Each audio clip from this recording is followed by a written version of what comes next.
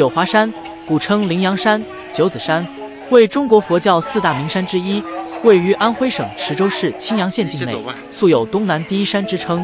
传说因唐朝李白望九华赠青阳为重龛，诗西在九江上，遥望九华峰，天河挂绿水，秀出九芙蓉，而更名为九华山。相传为地藏菩萨应化的道场，佛教认为地藏菩萨是大孝和大愿的象征。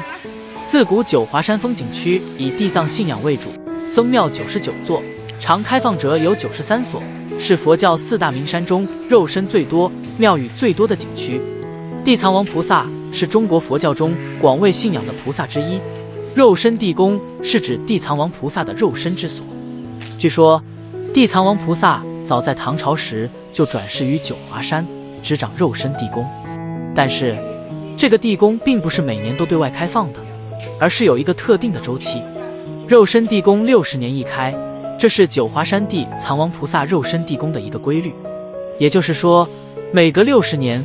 肉身地宫才会对外开放，让人们前来朝拜。这个规律也是源于佛教中的一种传统，认为六十年为一个大循环。最近一次肉身地宫的开放是在二零一七年，下一次开放预计是在二零七七年。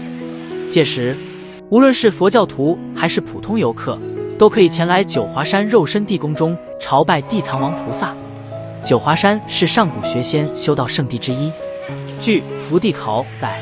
九华山位列道教的七十二福地之中，居第三十九位。最早在九华山进行宗教活动的是道教。据《福地考》载，曾有不少高道在九华山修炼，今仍在九华山流传着许多与道教有关的故事和诗文。九华山不少地名也都与这些道教人物和传说有关。东晋末至中唐之前，九华山是道家修真的七十二福地中的第三十九地。九华山道教在唐代处于兴盛时期。唐开元年间（七百一十三至七百四十一年），朝廷特明许道教信众在九华山营建开元观，并召以管元贞。金关冲即是开元观遗址。天宝年间（七百四十二至七百五十六年），建有仙坛宫。乾宁年间（八百九十四杠八百九十八），高道赵之威建延华关，富丽堂皇。建于南唐大顺年间。八百九十至八百九十一年的保宁关、崇祯关等，都在宋治平年间（一零六四至一零六七年）得朝廷赐额。自唐开元年间新罗僧盘桥绝着西九华之后，九华山被佛教信众重早为地藏菩萨应化道场，佛教日渐兴盛，信众云集，寺庙林立，香火不绝。道教在九华山的地位渐渐退居其次，在两宋时期。曾兴旺发达的延华关被佛教徒改建为沙弥庵。贞元年间（公元七百八十五至八百零四年）修建的甘至道庄也被改建成龙门寺。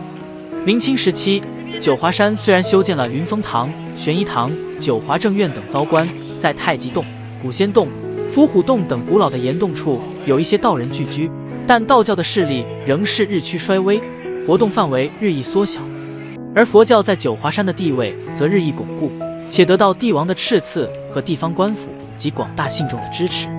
在清至民国时期，道教的影响更未减少，还出现了僧道杂居的特殊现象。如据一九四二年九华山僧道名册统计，九华道院、太极茅棚、海会寺、进修茅棚、西来庵等处共住有道士八人，女冠十三人。解放后，只有几个道士道姑在九华山一带活动。进入二十一世纪以后。九华山区又有少数道人恢复活动，但主要仅限于度王、医卜等方面。佛教文化，佛教传说释迦牟尼涅盘后，一五零零年，地藏菩萨降生于新罗王族，姓金名乔觉。于唐开元间，一说永徽间渡海至此，现山明水秀，于此修行。至德初年构筑禅语，不数年成大伽蓝。建中初，唐德宗赐名化成寺，为九华山第一座寺庙。贞元十年（七百九十四），一说贞元十九年七月金乔觉圆寂，佛教信徒认为他是地藏菩萨化身，称他为金地藏，遂建塔纪念。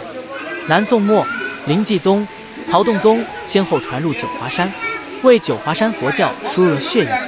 明代无暇和尚百岁圆寂，肉身不坏，封为应身菩萨，遂使九华山佛教在明末清初至于鼎盛。民国至新中国成立后，九华山成立佛教协会，结社护教，成立九华山佛学院，开展佛学研究与交流，广泛增进同国外佛教界的交往与合作。九华山佛教逐步走向世界。九华山佛教是佛教徒弘通世俗、导化、融合儒道的产物。九华山就是是儒道互动下形成的佛化自然。作为一种文化化自然，九华山千百年来承载住民间对地藏精神的信仰。这种信仰及其活动，又繁衍了特定的九华山的文化。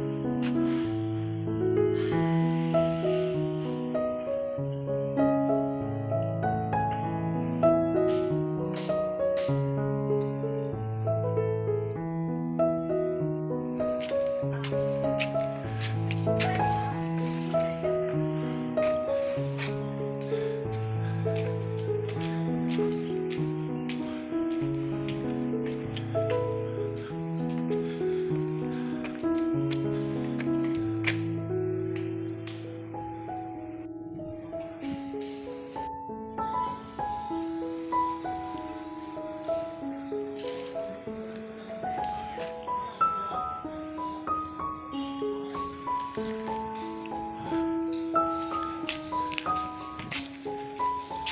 个等，这？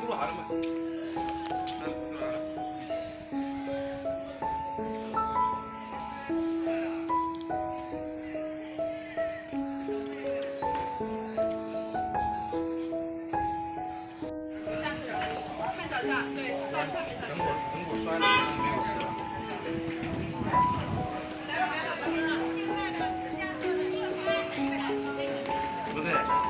Jangan.